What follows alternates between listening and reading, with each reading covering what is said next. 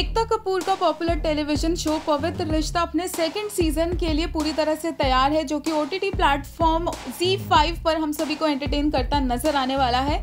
इसके first season में हमें नज़र आए थे अंकिता लोखंडे और सुशांत सिंह राजपूत एज अर्चना एंड मानव देशमुख, और सेकंड सीज़न में मानव देशमुख के कैरेक्टर में नज़र आने वाले हैं शाहिर शेख, जिसे देखने के लिए फैंस बेसब्री से वेट कर रहे हैं।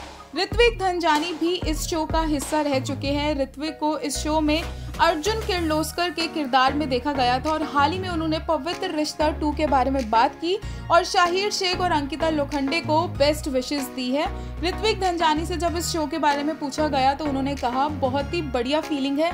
पूरी कहानी एक बार फिर से लोगों तक आएगी। एक नए नज़रिए से आई एम श्योर मानव अर्चना की कहानी आगे जाए।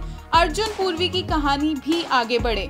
इसके अलावा उन्होंने शाहिर शेख और अंकिता लोखंडे के बारे में बात करते हुए कहा कि शाहिर एज मानव बहुत ही अच्छे लग रहे हैं और वो काफ़ी ज़्यादा खुश है कि एक बार फिर से वो मानव के कैरेक्टर को दोबारा से देख पाएँगे।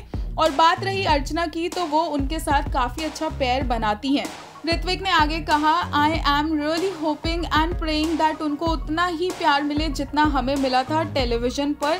बात रही ऋत्विक धनजानी के वर्क फ्रंट की तो उनकी वेब शो कार्टल जल्द ही रिलीज़ होने वाला है ऑल्ट बालाजी पर ऑन ट्वेंटी अगस्त जिसे लेकर फैंस एक्साइटेड है।